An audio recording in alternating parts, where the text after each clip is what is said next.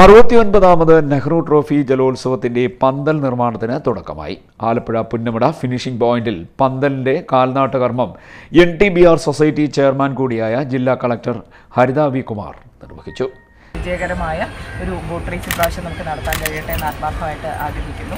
കാരണം boat race ആണ്. അതുകൊണ്ട് തന്നെ പ്രകൃതിയും എല്ലാം നമ്മുടെ ഒപ്പം നിൽക്കണം.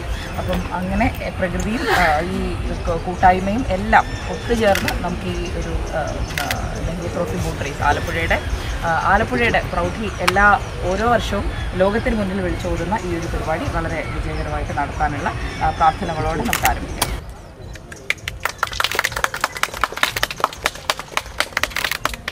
ചടങ്ങിൽ ഇൻഫ്രാസ്ട്രക്ചർ കമ്മിറ്റി കൺവീനറും ഇറിഗേഷൻ വിഭാഗം എക്സിക്യൂട്ടീവ് എഞ്ചിനീയറുമായ എം സി സജീവ് കുമാർ അധ്യക്ഷനായി.